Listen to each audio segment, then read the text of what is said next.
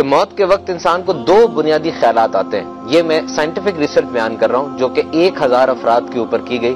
دو بنیادی خیالات آتے ہیں۔ سب سے پہلے اس کے سامنے پوری زندگی ریکیپ ہوتی ہے جو اس نے گزاری ہوتی ہے۔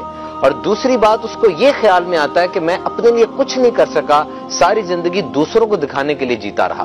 یہ بہت کروشل تھنکنگ ہے۔ میں سیٹ ہو جاؤں سیٹ ہو جاؤں۔ ابھی ڈگری مل جائے پھر سیٹ ہو جاؤں گا، شادی ہو جائے سیٹ ہو جاؤں گا، بچوں کو پال لوں پوتے پوتیوں کو پال لوں پھر سیٹ ہو جاؤں گا۔ سیٹ نہیں ہو رہا ہوتا، موت کی آگوش میں چلا جاتا ہے۔ میت کو قبر میں رکھتے ہیں۔ اوپر سے کوئی سیاح بندہ کہتا ہے، قبر اس کے کفن کے بند کھول دو، اس کا چہرہ کعبے کی طرف، قبلے کی طرف کر دو۔ اب یہ سیٹ ہوا ہے۔ کتنی ٹرانسفارمیشن ہوتی ہے انسان کی زندگی میں، موت کے بعد۔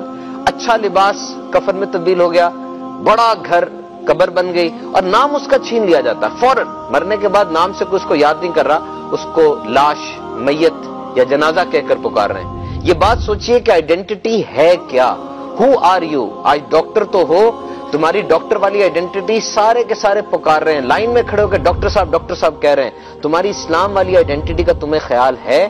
اپنی ڈاکٹر والی آئیڈینٹی کو روبسٹ بنانے کے لیے، مضبوط بنانے کے لیے کورسز کر رہے ہو، پوری دنیا میں چاہ رہے ہو۔ اپنے اسلام والے ورژن کو اپڈیٹ کرنے کے لیے کیا کیا ہے؟ Just think for a moment اس چیز کو انسان سوچے، دیکھے اور یہ یاد رکھے کہ لائن میں لگا ہوا ہے۔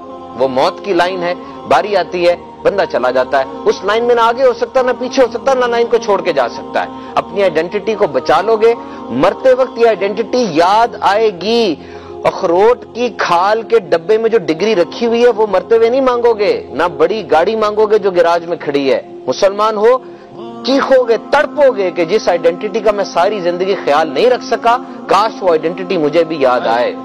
مسلمانوں دل میں چاہتا ہے نا کتنا خوشی ہوتی ہے۔ فلاں مسلمان کلمہ شریف پڑھ رہا تھا جاتے ہوئے سب جگہ بات پھیل جاتی ہے۔ خاندان میں محلے میں ہسپتال کے اندر۔ جی۔ تو کوشش کیجیے اس آئیڈینٹی کو سیکیور اور پرکیور کرنے کے لیے وہ سٹیپس لیجیے۔ دیکھیے میتھس کے اندر ایک الجبرا ہوتا ہے اس میں ایکس کی ویلیو نکالی جاتی ہے۔ ایک فارمولا بھی غلط ہو جائے ایکس کی ویلیو ٹھیک نہیں نکلتی۔ ایکس کی ویلیو تبھی ٹھیک ہوتی ہے جب سارے سٹیپس ٹھیک ہوں۔ سٹیپس ٹھیک لیجیے انشاءاللہ ایکس کی ویلیو یعنی آئیڈینٹی کی پرکیورمنٹ آسان ہو جائے گی۔